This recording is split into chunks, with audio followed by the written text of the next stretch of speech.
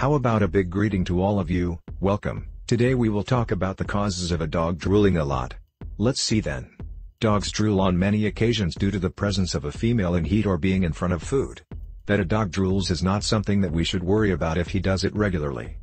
However, when the slime is present at all times and more symptoms are seen, it is possible that we are facing a health problem that requires veterinary attention. Let's see the details. 1. Ptyalism in dogs. Ptyalism is the excess of salivation when it occurs as a result of a stimulus.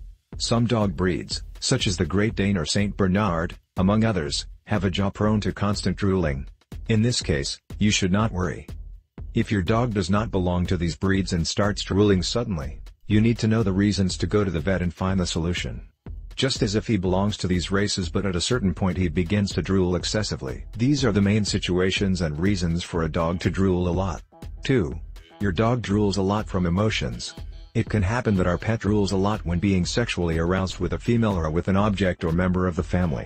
This symptom within that reaction is normal, as for example when suffering stress on a trip or while he watches how we put food on him. Therefore, in momentary situations that involve emotions, it is normal. 3. Your dog is drooling and has a bad smell from his mouth. Excessive salivation can occur when there is a problem in the oral cavity, such as disease or a stuck object. The main causes are gingivitis with more or less plaque of tartar, bacterial or viral stomatitis, oral inflammation, tumors or polyps, broken tooth, objects stuck in the teeth or gums. When drooling is accompanied by a bad odor, the chances are high that it is due to an infectious disease. You should go to your vet immediately to start treatment, as problems of this type are dangerous and painful for your dog. In case something is caught in his teeth, you can try to remove it, but very carefully.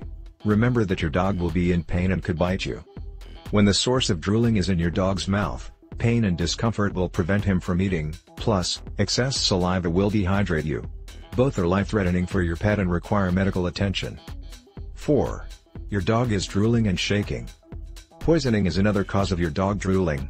It occurs when the animal has ingested a toxic or itchy substance. This excessive drooling is usually accompanied by vomiting and tremors. The signs of poisoning depend on the substance ingested, as well as the amount. Here we expose several without focusing on a single toxic. These are vomiting and excessive salivation, disorientation, stiffness in the limbs, tremors and nervousness, cardiac arrhythmia, difficulty breathing, dilation of the pupils.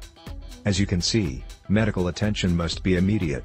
Also, do not force your dog to drink milk or oil if you suspect poisoning, as it will only cause the toxic compounds to be absorbed into his body at a faster rate. Go to the vet to treat each poisoning as it should. 5. Other causes of excessive salivation in dogs. Drooling or excessive salivation can be common in dogs in many situations. These are its possible causes. Contact with nettles. This can cause our animal to start salivating a lot and biting and licking objects uncontrollably in order to relieve that itch in their mouth. Processionary caterpillars. They can produce oral inflammation, glottis edema with the consequent release of drool to the outside. Sickness.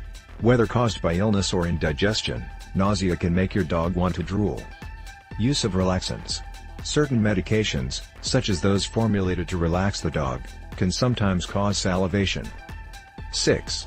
How to determine the cause correctly. Only your vet will be able to tell you what is causing your dog to drool excessively, based on a general physical exam and what you can tell him about his mood. These studies include a review of the mouth and teeth, blood and urine analysis, and others that the specialist deems necessary.